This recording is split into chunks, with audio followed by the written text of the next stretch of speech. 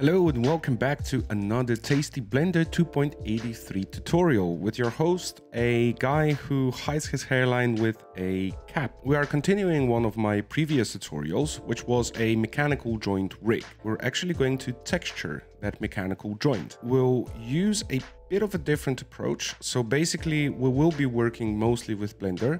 However, we'll also take a look at Quixel, Quixel Mixer, which is a texturing software that I found recently. I think it's really useful. It's very simple to use and I'll show you how to prepare your stuff in Blender so you can then apply it in Mixer. After that, we're going to export those textures and we're going to take them back into Blender and texture our rig. So get into it. So this is where we've left off last time. Basically, we made the top, bottom joint and the cover. Now today we will do the texturing for these guys and we won't do it like we usually do in Blender. We'll actually use Quixel's mixer.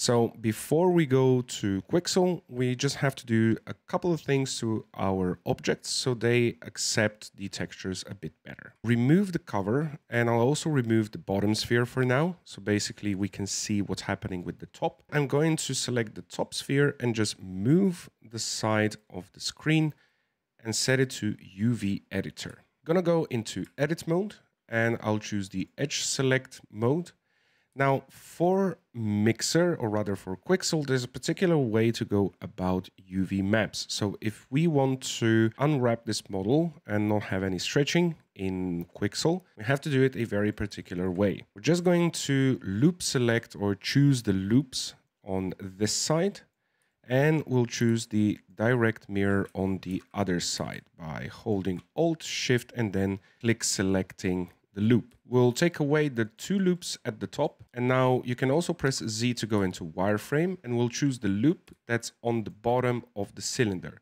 So our selection should look like this. Press Ctrl E, mark the seam and then press A twice, U and unwrap. And you should get something like this. In our next screen, we can just click on the faces, select the top cylinder, press Ctrl P. So it's going to use maximum amount of space possible in our UV map, R, rotate it, put it inside the texture. You can also scale it down just slightly so it fits inside. Now we're gonna go under File, Export, Wavefront OBJ, make a folder and save the OBJ there. I'm just gonna name it top. Tick the selection only and make sure that it in geometry you have apply modifiers and include UVs. Export this OBJ and we can move to Quixel. In Quixel, we can go under setup and under type, we can choose custom mesh instead of plane. Just choose the object that you have exported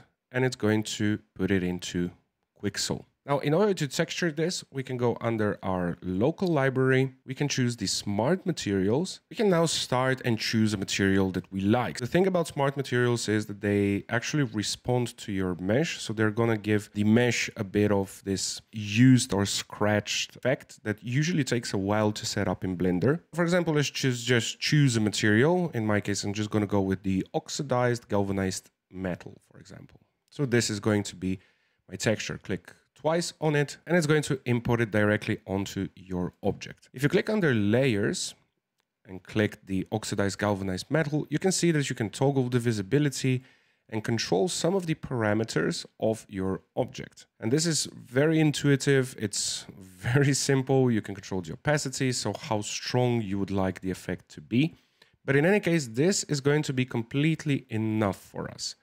Can also choose the normals, so you have also a normal map that you can later export. But for the purposes of this tutorial, we can do without our normal map. In order to export this, just go under export, rename it. I'm just going to rename it to top, create the subfolder, open folder after export. And you also have these options, which are all of the maps that you can export. So it's albedo, we won't be needing the diffuse, so you can just tick off that one. Specular, roughness, normal, displacement, ambient occlusion, and metalness. We definitely need metalness. After you've done everything, just export these seven maps. And this is going to basically compile a typical PBR texture type of folder, like that. Okay, let's go back to Blender. I'm gonna change a bit my structure. So I'm just going to drop down the screen, change it to shader editor, press N so I don't have that menu on the side.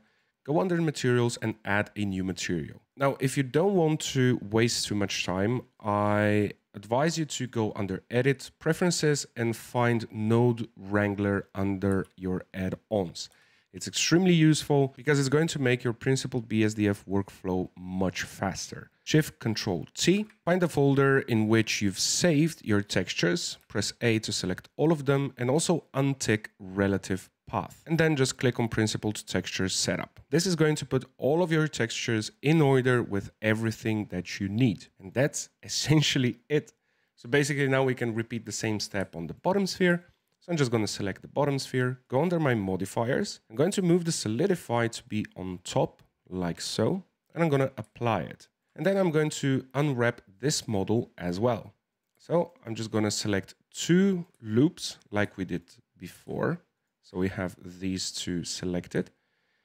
Deselect these two and also go into wireframe by pressing Z and deselect the ones that are inside. You can press C and with the middle mouse just scrub over them. While you're in wireframe, you can loop select the outer bottom of the cylinder and the inner bottom of the cylinder. So you have a selection that looks like that. Control E, mark seams. So you have your seams marked. A twice, you unwrap and you have your model unwrapped. We can press C and then click on our faces over here, Control P, then rotate them. And let's just scale them down so they can fit inside and they are not interloping on the other spheres. Having selected our bottom, go into File, Export, Wavefront OBJ, and now we can rename it to bottom. Keep selection only, don't forget about that, and include UVs and apply modifiers. Export your OBJ, and now we can return to Mixer and in our setup, we can just go under our folder and we can load the bottom. And it's going to apply the same texture it did to our bottom. And you can see it's working completely fine. Export again, just don't forget to rename to bottom. Export your seven maps. And we can return to Blender and basically do the same thing as before. Just add a new material, select your principled BSDF, Shift Control T, then choose the bottom map, select all principled textures setup, and when we go into viewport shading, you can see that everything is applied. Last thing we need to do is our cover. So our cover, just gonna go to the beginning. So we have the full cover open. Go into edit mode, just gonna select the two sides. Make sure that they are absolutely mirrored. Control E, mark seam, and then select everything and UV unwrap again. File, export, wavefront OBJ, rename it to cover in this case. I'm gonna export it again, move to mixer again, and just reload this model. Now, when we choose this one, it's also going to apply the map to our model over here, which isn't necessarily something that we want. We don't want it to be metal. We want something else. So we can just hover over oxidized galvanized metal, right click and delete the layer. Let's go to our local library again and let's scrub our options here. For example, trying to find something that will work for us. For example, this dirty yellow plastic isn't half bad. So I'm just gonna, I think I'm just gonna click on it. And this is going to apply the texture to my ball. These black spots are kind of bothering me, so we can just take them away. Or we can go under oil dust and then just move the opacity so it's not as strong. Now let's export this by renaming it to cover. In our case, we won't be needing the metalness. Maybe we can keep the displacement, but everything else, it's completely fine. Just untick the metalness. Export again the maps. And when we return to Blender, we're just gonna add a new material again. This is going to be our cover material choose the principled BSDF, Shift Control T, and then find the cover material. And when we select all of them and add them to our model, you can see that it's applied perfectly. Now let's close these just for a second. So we have something like that. So before we see our cloth in action and our joint in action, I would just like to select the ball on top. And I would like to make just a bit of a correction. So I'm going to take away the cloth for now, for just a second. I'm going to move the end of the animation to 100 frames. So I'll go to frame 50, press 1 on the numpad. And now I'm going to move to frame 100, press G, Z, and then just move the ball down. Going to return to the start, open my cover again, select it. And now I just want to bake my cloth simulation so I can see how it's behaving. Set the end to 100 frames because we don't need more. And I'm just gonna bake it. After my model's been baked, I'm just gonna press Alt A and start my animation. So I can just see how my material is responding to the bending of my cloth. And also how my cloth is actually behaving when it's put to its limit, like extreme stretching. Let's go to frame 95. If I want to see this in all of its beautiful realistic glory, I can go under world, the color, I can change to an environment texture. And if you press open, just search for a HDRI of your choice and then add it into the scene. Let's go under our render properties. Now, right now we're in Eevee. So if I press Shift Z, it's still not set up. But if I move to cycles, it's going to be a bit better. Gonna just change to GPU compute so it computes a bit faster like that. And it's actually pretty good. It's actually not holding badly. We can change the, the lighting and the orientation of the lighting a bit, but for, for what it is, I think it's done a beautiful job. You can see the nice displacements, you can see the nice roughness, a very rough and tough type of joint. So yeah, that's gonna be it for today. Uh, we've actually texturized our mechanical joint. We texturized our cover. We've learned a bit about Quixel.